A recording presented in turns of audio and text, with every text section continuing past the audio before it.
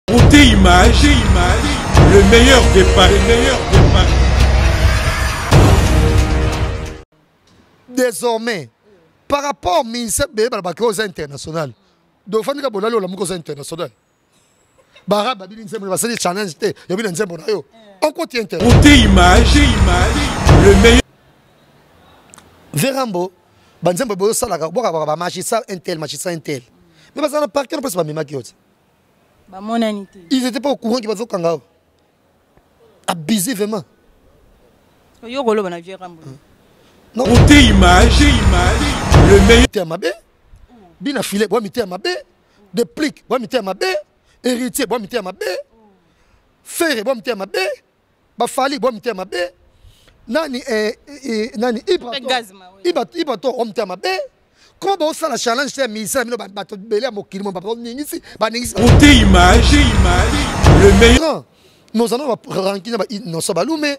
e, non na bafabrigueuse oza kaka mozano ranki na bafere tomonaki fere akangisi journaliste moko mpo afinga ye bamama na ye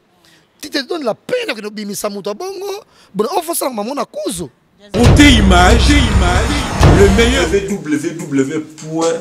beauté image tv babi baya baya baya mais masolo eza nde beauté image tv totala yango babi pusana bato bapusani beauté image bavandi tolanda beauté image tolanda beauté image image ya grave eza nde na beauté image boya ebele tosabone na beauté image tv balobi bapusani beauté image mpe avandi idéologie yango wana emelelies rien à dire beauté image yo nde bango te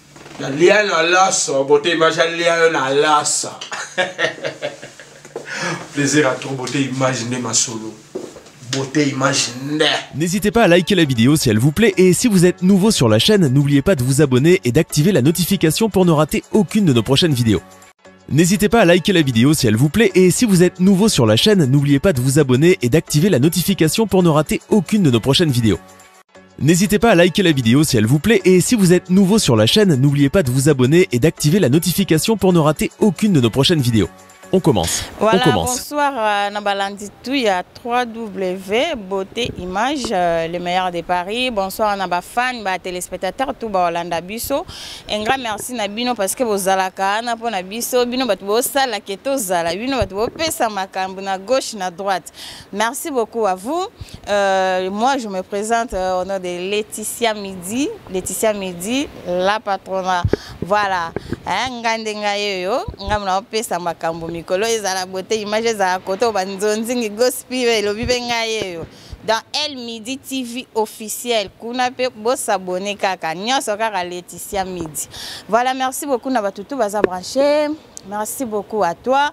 Euh, Karine Chitenge Chitengeski et pourquoi pas à toi Marlène Kassanga Leader euh, ainsi qu'à Davango Nicole Vango Mireille Ochao et pourquoi pas à toi Léa Lukengo Sylvain Ukola ma Blandine Malunda maman la mère hein hop makuba maman na motema ya Brice Bayola voilà enga merci à vous tous hein, na lingaka bino mingi bo pesa ka chance bo s'abonner pe ebele bele bele bele, bele. Aujourd'hui encore, euh, nazweli bino lisusu papa Zahir nazweli bino Diaz Kavulu mpo nga soki naa na posa na ye nalandaka ye mpenza Diaz so olingi okange yaka gare du nord so ye gare du nord okuta Diaz Kavulu donc ngai na ye eh, Diaz ye eh, topanza teke mpo ye kuna na kini ezalaki mingimingi bines oyoka bines mbembo akangi ye makambo kote ngai na récupéré do bines ozangi diazi futa biye ya kozwa diazi ozonga na kini andingma mpe kokende kini voilà merci beaucoup Euh, bref euh, tokokotisa diaz mpo tosola na diaz tobeta masolo papa zaire apanzaka teke ye alobaka kaka ye azangaka makambo te mikolo toza na mposa na ye surtout ngai soki kaka ye mbutu mbutu diaz oza wapi Yaka to panza teke. Voilà, merci beaucoup. Diaz, il est déjà là à côté de moi. Je dis bonsoir à Diaz Kavou, papa Zahir. Bonsoir Laetitia, euh, na profiter peut-être on a l'équipe ah na pas na bino. Na remercier pe sous euh bato ebele oyo balingaka kotikaka te basutenaka de tous les jours merci koyago belisha ya toussaint dombasi le président donis ngambani ya jili kitima nabosana mpe susu jamais jamais jamais jamais kadi prod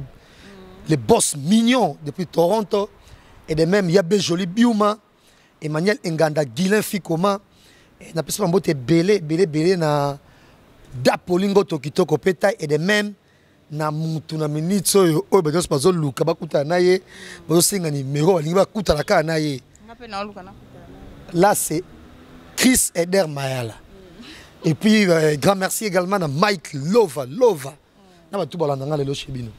Voilà, merci beaucoup Jess toza na yo esengo ya omono lisusu esengo ya kozwa yo lisusu na beauté image eh, esengo ya komona yo parmi biso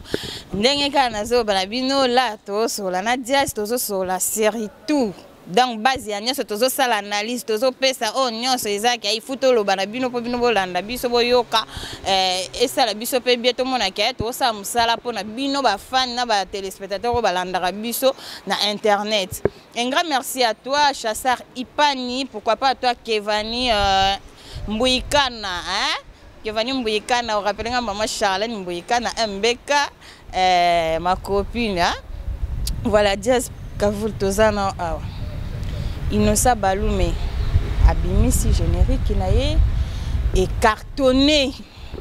donc tokoloba euh, nayebi te cartonne naloba no ndenge nini bavideo ezocircule donc akangi no internet akangi facebook akangi instagram akangi euh, twitter akangi kangi partout donc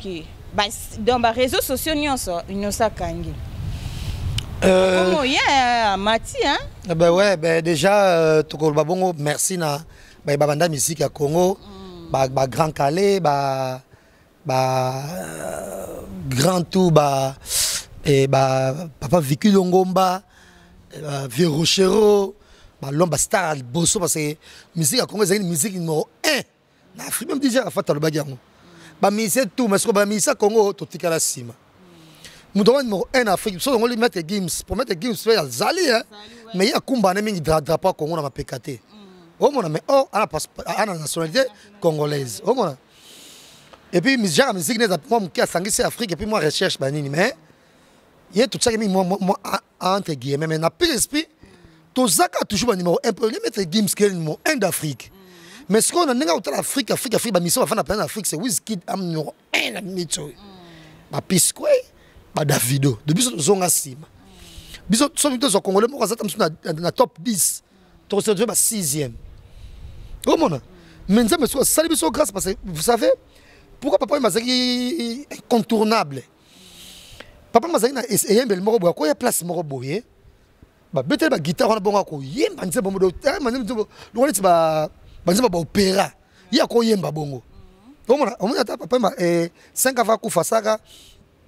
nzembo wana eh, na, na, na, na gospel nsima ah, ah, ah, eh? ubana uye eh. wana basuka korela eyemba ana eh, ah, eh, eh. eh, omoni afesi eyembeli moko boye o oh, partout kotya ya koyemba omona naye bamiziki mosusu ya biso amoni na ekoma kaka oye comprendre nzambe akosalisa biso miziki ya congo avec inosa balume tomati susu tib oyo ozoka yo pona eza tib ah, en tout cas eza tib ye moko ezolekela ye oh. ye moko elekela ye sikoyo toloba te il y a personne qui en parle oh, il y a personne qui en parle même bajournaliste ya télévision chance mpe moto moko kaka na télévision yango azala na bapossibilité oyo abonga oyo azwaka oyo aza sans stress yaka papi mboma omona ezalaka nini yango na papi mboma oyo oh, na pm pm nano ya pm nasala mpona flate mpona flate mpe eloko te ya nga ayebi ya bato nyonso oyo oh, boma bakambane bayeba ye nga nayebi naboma wana nga aza élève nota noir blanc yo osala eza journaliste tositafaka deja na ye omona eh, na bateke mpona so mais etike ye nazala sponsor ba biso akini basponsor ezalaka biso bapimoma basponsor etandami mamile ya bralma evandi wana le reste baka bato moko bifaka ebeta matolo toma mwasi oke ezwa mibali na yo pati machin omona mais même bino na télévision soki ezali boya deontologie bozoloba te inosa balume abinisi mokili yo wana deontologie nga na deontologie deja nga émission mona komitanga nkombo na nga te nga mitangaka komo na émission na nga te na miloba ke nga nde jazz na mikumisa na émission na nga te so na présenter émission na komikumisa te nde na yende epa na yo nde nakomikumisa omona eh donc deontologie nyonso ngai biso to bastar donc nakosala émission ndenge nyonso opesaka émission na président oke mpe na président na se émission na président so mpe ezaki toningisa zaire to masoko okritike bakene piana tokosala émission okritike kene piana miso ezaka miso miso nga pesa pe miso bote na kaso kosa nous sommes ça miso miso na sala ngo bote ezalaka na sima camera otunaka bote poani tunaka nga mais bote image mais tout ça ce qu'on a air ya internet ce que tous ces journalistes tous ces lèches qui a télévision tous ces lèches qui a internet mais vous dites rien bozoloba te kinosa bano baningisi bobangaki baleader na bino oyo place eh, bomona bango bango nde baza bagrave bakoyina bino mais mon dieu to vivre na quel monde to vivre na mokili nini qu'est-ce qui se passe bino so balomi basali bino nini omona erese banza baconfondre bino yo motu mpo ofandi kaka na ndako donc désormais désormais par rapport ministère beye balobaki oyo oza international donc ofandi kaka bolali olamuki oza international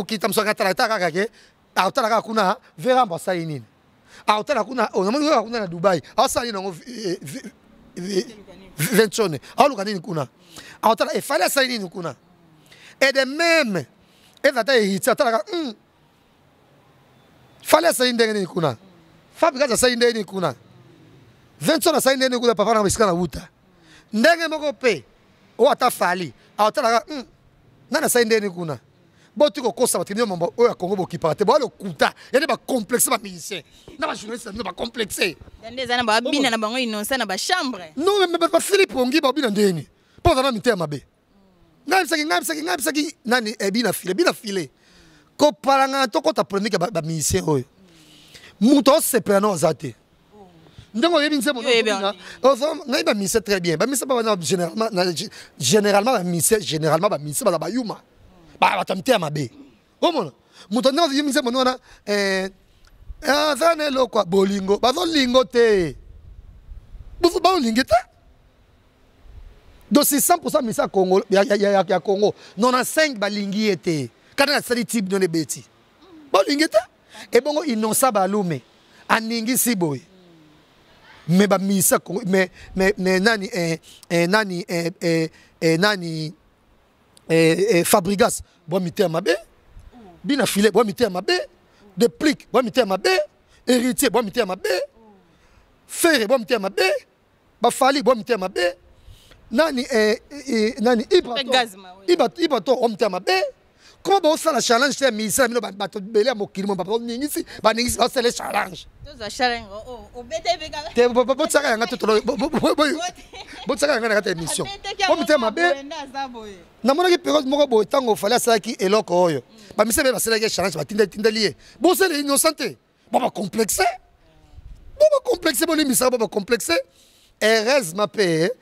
mokili oyo ezala ya mutu eza te yo moto olali ko milamuki bosali groupe na bato na bajournaliste na yo to na bato moko babangaka basalaka ko mince boza bainternational ah bon nzembo nini osala ebeta lokola makarena ee eh, eh, makarena nzembo nini te nzembo nini osala ebeta eh, lokola idakadasha te innocent bolo mabwaki yo mpe yo mpe eningisi mokili na baarabe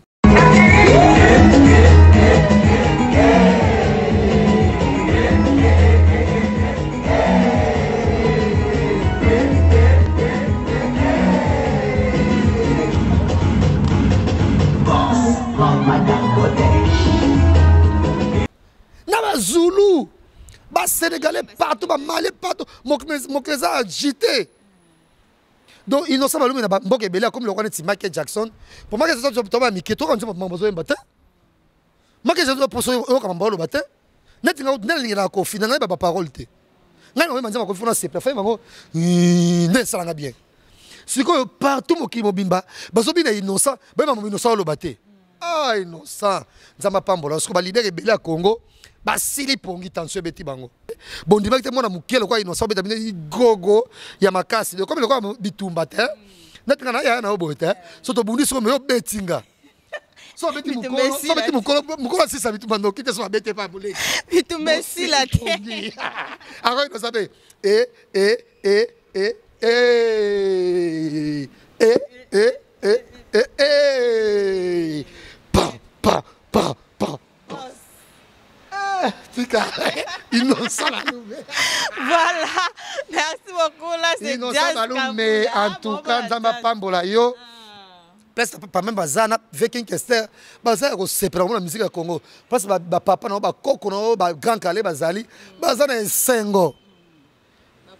ah! kolanda te innocent balobi mokili fo balobelaka mm. eh, meme bapage ya polemike baotya te meme bapage ya polemike bazotya innocent balume te baotya bachalage ya innocent balume te mabiala eyalika ke pasa euh. marilo mwaka ke pasa omaki bafutaka bino bambongo euh. so ozalaki musicien moko mosusu mosalaki asalaki babiloko wana mbi topema te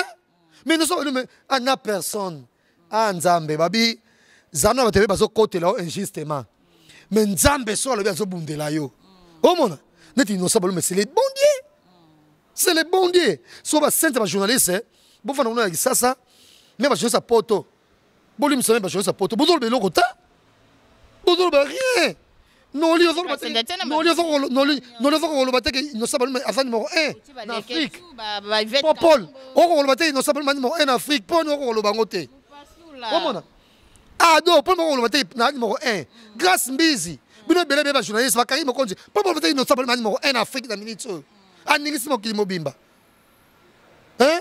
soit ça ta poto bazana complexe te mais laisse moi pour le baké boyo le kama bo sala yango moni ke yango moni ke ezaka pasi congolais congolais ko préfère na kene matanga ya mutu mususu ke bango moko yango moni ti ferre mbo di ferre mbo pas zonga mboka tango eh, nani eh, lutumba semaka kufaki ye azalaki na azali na poto mais depuis ake nana ke tika fleur na tomba lutumba te mais dj arafat mbangu ake ake matanga dj arafat c'est ça congolais congolais alingaka moninga ne moko congolais te vraimen dimie ye omona et eh, moi je suis l'un des rares journalistes naa na posa misike biso tele de minute oyo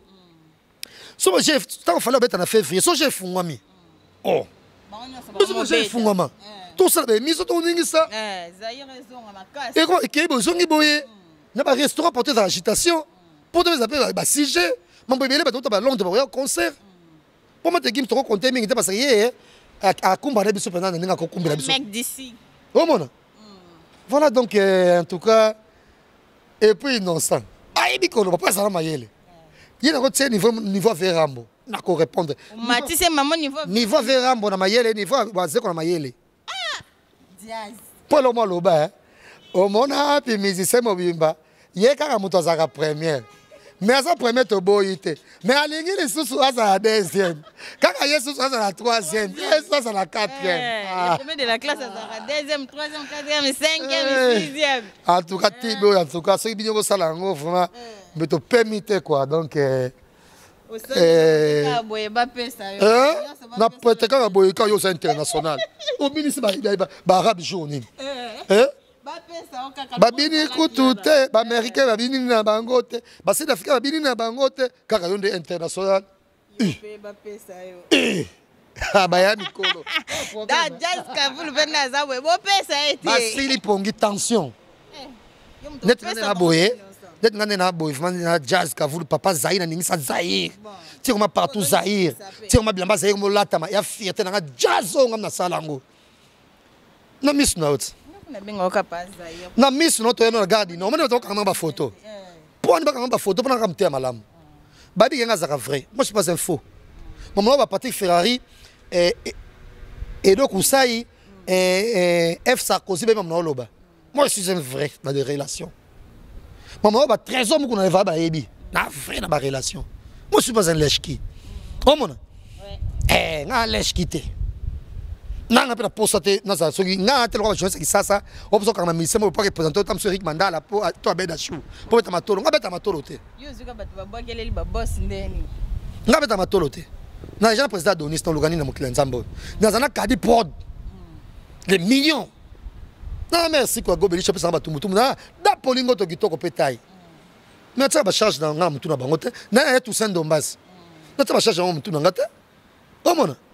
ah bosili pongi bosila pongi kala tension donc euh, ba journaliste tout ya ba lèche bot na page ya polemique bazotya te la mama bamama ozotya te yesu bozotya te mpo na nini so ezalaki kaka so ezalaki kaka o héritier moto asalaki bongo mbe tokopema te so azalaki fere mbe tokopema te so azalaki fabrigas mbe tokopema te so azalaki fali mbe tokopema te mbe ekomi kaka bapage tuka ekomi kaka bango na bango na bango mais inosa balume boyini ye asali bino likambo nini mwana mokie ngai nakobota innocent mpo innocent ntango abotami ngai na 18 ans na mokona ya 18 ans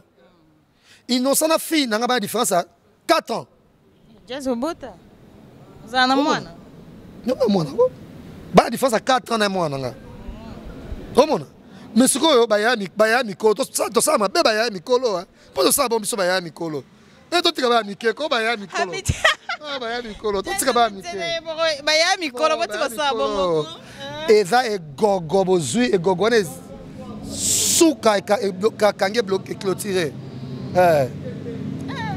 voilà jazz kavul tozo continue na jazz na assure esali bino plaisir esali plaisir ya rita kimanga kimanga ya barita nazolela ah, leticia miza alela voilà rita kimanga esali yo plaisir esali plaisir na chasseur ipani e eh, chasseur ipani donc euh, na dose voilà merci beaucoup ata ma copine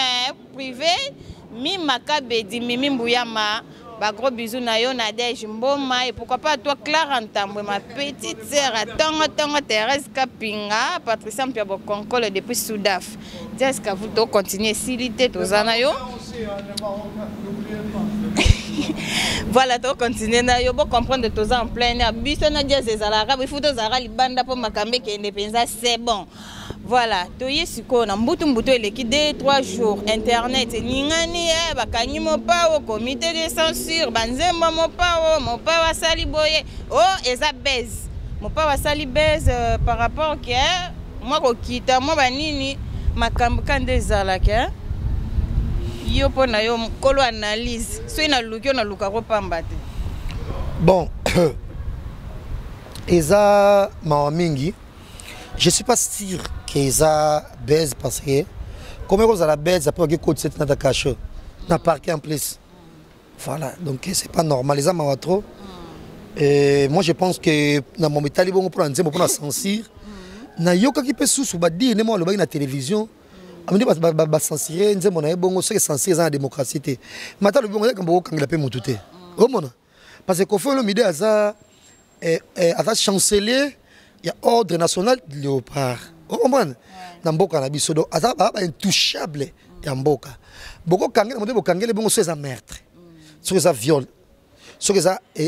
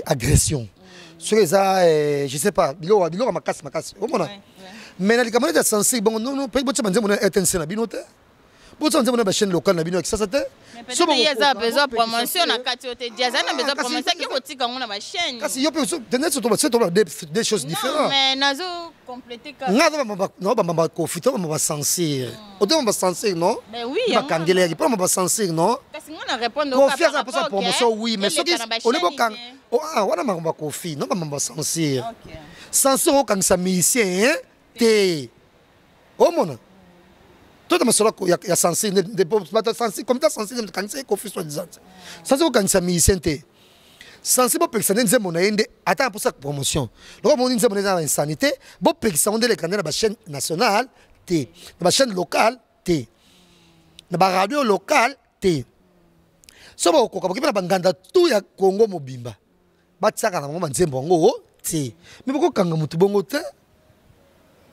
bajournaliste bacomplexe mona mpe ke eh, eh, un grand homme tolongaki grand homme ata ezalaki gaze mawe te ata ezalaki ibator ata ezalaki bina file bokozana to kokange bongo te ezalaki deplique bongo to kokange bongo te to mpona nzembo kapa alobi ke tamsu comité sentir eza na amoni ke démocratie na comité sentir eza te bokanga mutu bongo te non pourquoi ba dénigrer à limite fatina ba eh, voilà donc eza eza vraiment mawa mingi et puis euh, c'est que ba décoration tout ba décoration tout tchafe rambo eza aventure Hein? Et, et, puis comment se fait-il Comment se fait-il na Verambo banzembo boyo salaka boka boka ba magistrat intel magistrat intel mais bazana parquet on peut se ba mimaki yote ba monanité ils étaient pas au courant qu'ils bazo kanga abusé vraiment yo koloba na vieux rambo hmm. nakoloba ne tant que journaliste nakoloba ne faux vieux en tout cas nakoloba ne en tout cas vieux rambo nakoloba ne en tout cas vieux rambo azala na charisme hmm. il n'est pas charismatique hmm. kitoko te omona ye fami tiaka na place na ye okuta mugabe mugabe asepeli ndenge amoni yo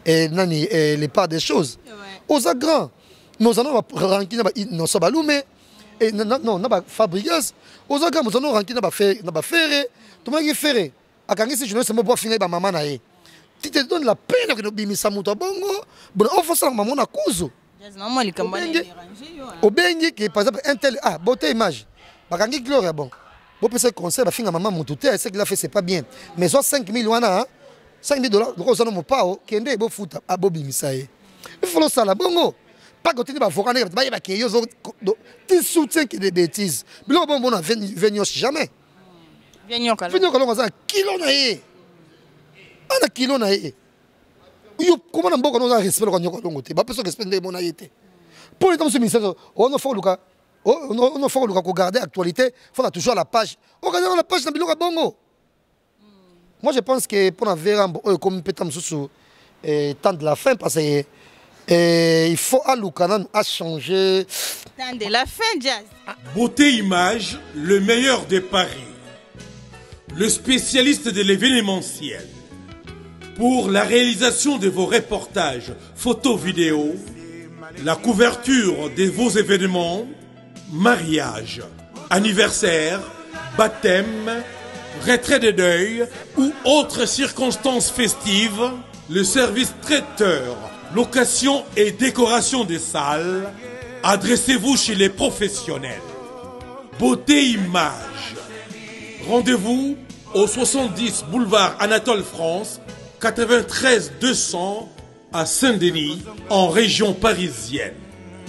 Contactez votre partenaire de confiance au 0033 752 96 04 73. À Kinshasa, RDC, Beauté Image au 00243 823 13 47 06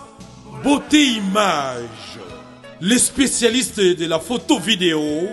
Beauté Image le travail au service de l'homme Beauté Image Beauté Image Mosala eza na bakolo na yango Beauté Image tobateli kimia sepela tv eye na makambo ya sika lisusu oyo basheni ya, ya france eza na kati basheni ya congo eza na kati basheni ya londres eza na kati olingi omona makambo ya politiki ya sika o parti aa eza na kati o parti bb OCFAIO eza na kati ya Sepela TV. Bouquet comme ya muke boye, otie na poche voyager nango keno partout lingi. Na bouquet na ya Sepela TV. Sepela TV. Mema biso ndenge ozo mema biso wana kaka machine madaka daka. Sepela TV. Bienvenue dans le monde de Sepela TV. Sepela TV est le décodeur qui vous permet de suivre les chaînes du Congo en direct de la diaspora. modèle mode de façon ridicule voilà non, non pas obonga okanga nde soi nini non bakanga siko soi nini bakanga bafilmanga te comme tofilmanga baza te omona masi bakangi nga o bafilmanga te omona mais sikoyo mutu oyo tu es déjà un grand bakefilme yo mais non faut des fois il faut kotala makambo yango donc eh, mais nga ndenge namoni nde bakangelaki ye totali wana kotala video yango te noka pase eh, bokanga motu fa boye mokolo boye voilà c'est pas normal c'est pas normal mais sikoyo président félix tshisekedi bato nyonso ya mboka fo batala bamona ke bongo nde bakangelaka bato na kisasa sans kosambisa mutu bu namoni bango paparke yango nde eza na kasho na bango boke lexe kuna c'est pas normal omona mais en tout cas mais en tout cas vie mpe faut garder mpe charisme na ye faut garder charisme yango bapamake mission kwa bavie nioche nde bazalaki vie nioche soki abimi omba ata baoyo kabiki eh vieux baosola na vie nioche atake vieux na petit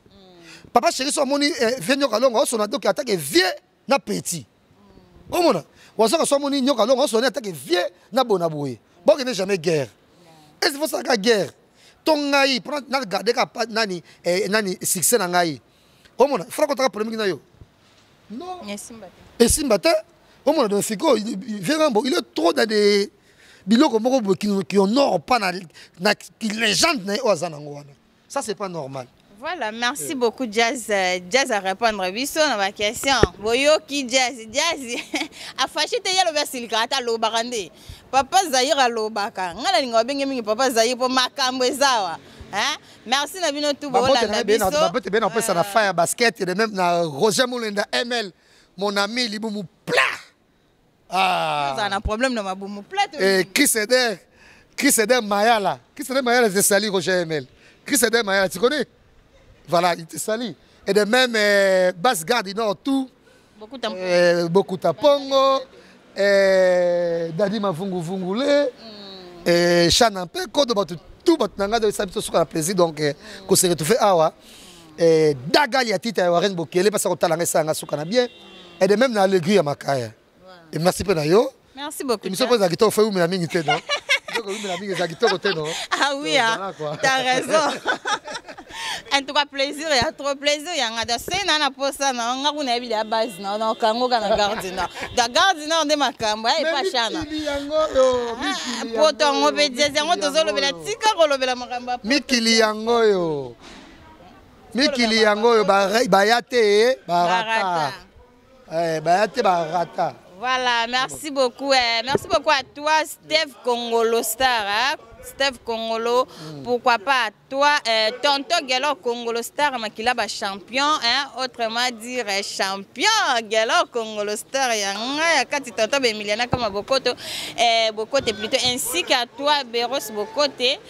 Eh, papa na emiliana kams bokote pourquoi pas toi prudence mbangi mfumu toto mabilama eh, roger mulenda ml kala te mpe ngai na ye micro to leo naotelemisa base garde no naotelemisa micro to mikolo naolandisalandisa micro mpo nazwa makambo napesa bino mpe makambo ndenge kaka ezalaka merci na bino nyonso op makuba mama na motema ya brise bayola pourquoi pas toi chassar ipani ipani ya bachassar bisous à tout le monde baoyo oh, nyonso bazala branché sur El Midi TV officiel ainsi qu'à beauté image pour mikolo na ra koto se na koto na koto na koto na koto to bosani te bas gardinor ah gardinor de makababi poto solo nde gardinor voilà merci beaucoup des gros bisous à vous tomonani mbala nsima tokokutana yesu na émission mpe kala mingi te ka a tooleka na émission na roger ml voilà